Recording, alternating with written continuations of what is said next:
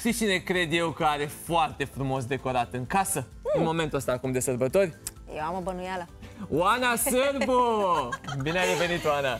Bună, bine v-am uh, regăsit. Mă bucur tare că suntem împreună în penultima zi din anul ăsta, care a trecut atât de repede și mulțumesc foarte mult pentru invitație, cu mare drag de fiecare dată la și voi. văd că ai și tu o invitată, n-ai da. venit singură. Pe cine ne-ai adus? Fetele voastre din echipa de documentare mă pun la cale tot felul de provocări și uh, imaginea asta mea mereu e asociată cu ceva frumos, cald, copilărie, aducere aminte. Corect. Așa că, na, de ce să nu profit? Uh, e Laura, păpușa mea uh, primită atunci când am primit și botezul. Deci wow. la 8 luni. Wow! wow! Da, are mulți ani, mulți, mulți, mulți ani, da. Și uh, într-una dintre fotografiile pe care le-am și, mă rog, pregătit pentru voi, există niște niște aduceri aminte plăcute și chiar ea este un, câteva dintre fotografiile respective. Prime, pă, cum să zic, păstrez foarte multe amintiri din perioada respectivă și consider că de multe ori o întoarcere în timp în momentele cele mai frumoase trăite E, e benefică. E benefică, e frumoasă și, nu știu, te ajută să te ancorezi mai mult în uh, prezent și să-ți pregătești mai, mai bine viitorul, mai cu seamă dacă momentele respective sunt uh, pline de încărcătură emoțională. Pentru mine copilăria a fost superbă. Încerc să-mi dau seama prin cât ai trecut împreună cu păpușa Laura. Păpușa Laura și-a pierdut un papucel, dar da, uh, mie îmi place tine... tunsoarea ei, din da. când în când îi fac și o băiță. Să, să știți că asta nu e rochea ei... Uh, Uh, cum să spun... Uh, Originală? Da, este o rochiță făcută de bunica mea care era croitoreasă și într-adevăr uh, îmi făcea și pentru păpușile mele făcea diverse rochițe și încălțăminte și pieptănături. Hai, trebuie să recunoașteți că așa o păpușă roșcată n-ați prea văzut. Nu, am prea văzut și recunosc că ține foarte bine păpușa. Da. Adică tu ai băiețel. Mai am păpuși aduse de, da, aduse de, de tatăl meu din diverse turnee de, de prin Rusia am cele mai frumoase da. păpuși, sunt superbe, Așa într-adevăr. Și că și băiețelul meu mai dormea cu plușuri în pătuți până de curând, așa că nu știu dacă al tău, dar da, poate că cu excavatorul, păstra.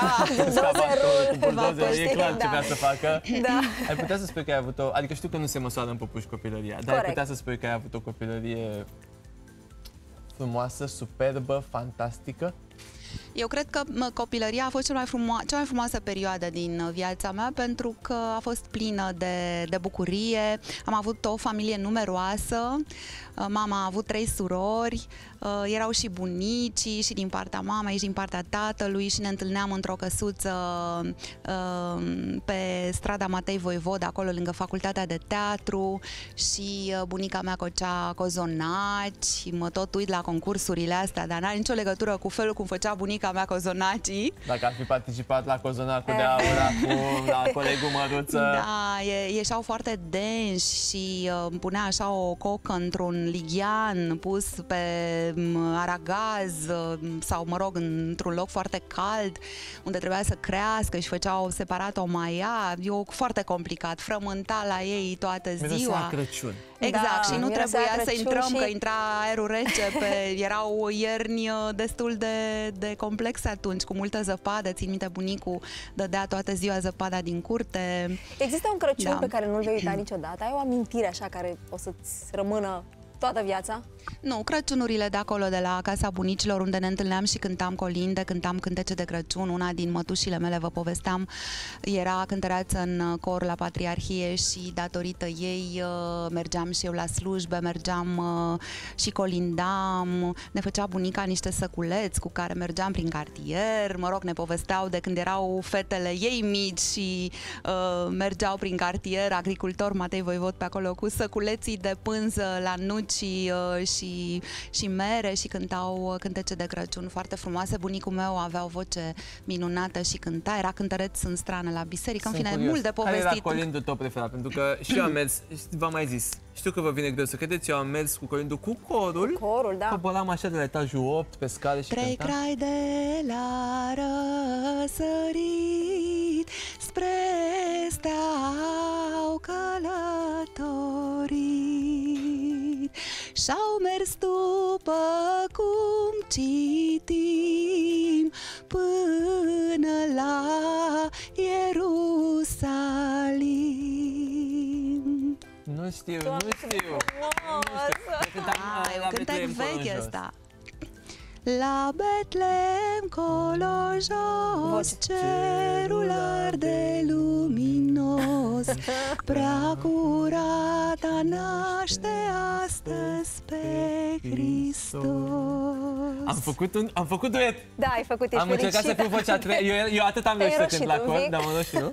Păcat că a trecut Sunt niște Crăciunul, Oana, cântece că luai cu cu tine motive și muzicale nu știa să bizantine. Exact. Mergem împreună și Să știi că am cântăm. cântat cu copii de biserică anul ăsta și am încercat în, în mai multe biserici, am încercat uh, să ascult mai multe concerte de Crăciun în mai multe catedrale din uh, București și nu numai. Am susținut și un spectacol la Râmnicu Vâlcea cu cântece de Crăciun. A fost foarte frumos anul ăsta. A Poate trecut ar atât de trebui să Ne repede. bucurăm mai mult de genul ăsta de spectacole. M-am înroșit tare de tot. Te-ai înroșit un pic, te-ai da, ți-a emoționat. trecut, îți trece pe ești măsură. Mi s-a, drăguț. ce? dar mi s-a părut atât de tare momentul și uh, când, în timp ce cântam mă gândeam, nu, eu fac asta. Nu, eu odată, chiar fac odată asta în viață acum. cânti uh, cu Oana bucurat Sârbu, știi tare ce să zic? știi. Oana, ce faci mâine seara? Mâine seara o să În fiu petrecerea puțin dintre plecată ani. din București, în zona Prahova și o Frumos. să, da, o să, m, n-am mai fost de mult în zonă, sper să, să, să fie bine, să nu întâmpinăm dificultăți. Uh, o, or să fie câteva evenimente la care sunt invitată să particip și am zis de ce nu. O să îmbinăm bine. și utilul cu plăcutul, o să urmeze și o tabără la schi pentru băiețelul meu și un pic de aer rece, așa, deși mie nu-mi place frigul. Mi-aduc aminte de turneele mele când dormeam cu pătura în, în, în cap de frig ce era prin anii 80 și, uh, mă rog, uh, îmi place foarte tare marea, dar uh, iarna are farmecul ei și permanentă aducerea mintea copilăriei și a bunicilor. Abia aștept să aflăm și uh, ce urmează pentru tine în 2023, ce-ți dorești de la 2023, dar și în ce vacanțe vrea să mergi, poate undeva la cald. Și abia așteptăm să o ascultăm pe Oana cântând. Deja, deja îmi vine să număr, așa, 5! Trei. A, eu m-am Dai de la înțeles. 5, 4, 3, de 1, la mulți ani! Ne-am întors în direct la Vorbește Lumea, este ultima ediție de anul ăsta și lângă noi în platou se află Oana Sârbu. Mulțumesc pentru invitație, eu mă tot rotesc așa cu privirea să văd cât de frumos ați aranjat decorul. Mulțumim și ai văzut și... Vă sunt un mare fan uh, și Andreea, producătoarea voastră, știe că mă uit în fiecare dimineață aproape la, la Cunoștințe emisiunea vechi. voastră. Vă Da, da, da, cunoaște o știu de pe ceva Andreea timp. de când era micuță la Abracadabra. Nu vine să cred că Andreea, producătora noastră, a fost micuță. Da, e și acum, e și acum micuță. E și acum. Da, Oana, este. să știi că tortula E o din plăcută spate- aducerea minte a emisiunilor cu și despre copii, Abracadabra, Exact. făcute de Tortula ProTV. din spate se Dar poate chiar am mânca, întrebat, sunt două torturi, da? Deci e avem atacabil. uh, voie câte un uh, șoa la crem de acolo, Îl atacăm nu? după ce ne cânti. Ce ne cânti, apropo? Vă cânt cabaret, viața este ca un cabaret, textul are foarte mulți ani, dar uh, este potrivit oricând. Aurel Storin, muzica uh, Virgil Popescu, Aurel Storin, versurile, muzica Virgil Popescu și, nu știu, este un cântec uh, care se potrivește cu penultima zi din an. Apropo. Să ne revedem cu bine, să facem așa un bilanț al anului 2022 ca ca și cum ar fi trecut așa repede, cu toate greutățile, dar care a adus și multe lucruri bune. Pe scurt, ce-ți dorești de la 2023? Îmi doresc, uh, firește, să fim sănătoși cu toții, îmi doresc vești bune,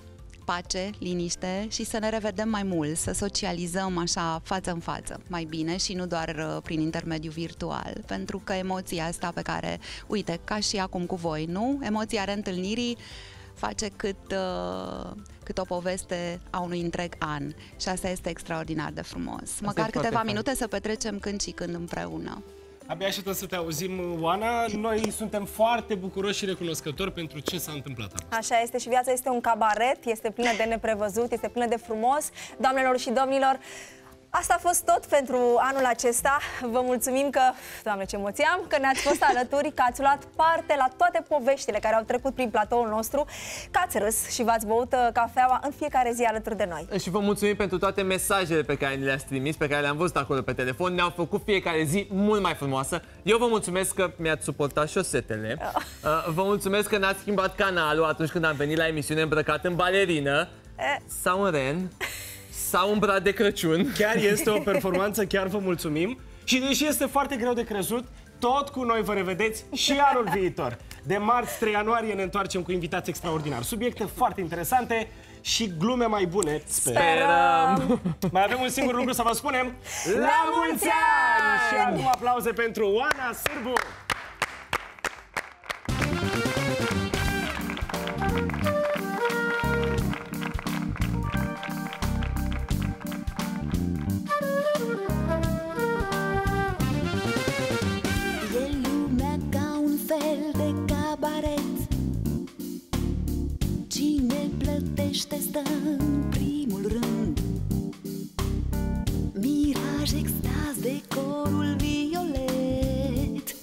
ce vrei Găsești acest pământ.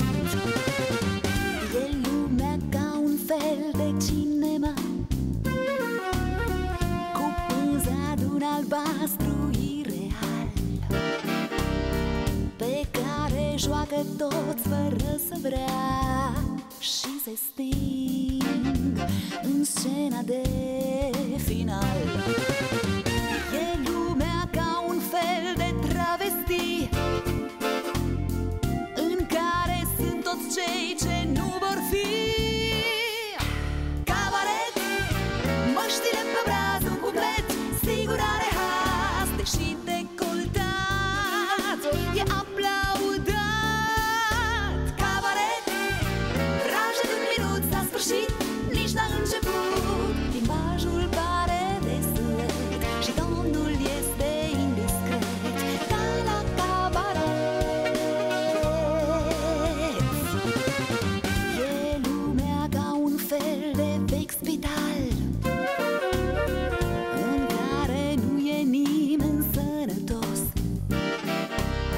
Și cei ce se comportă anormal Sunt acei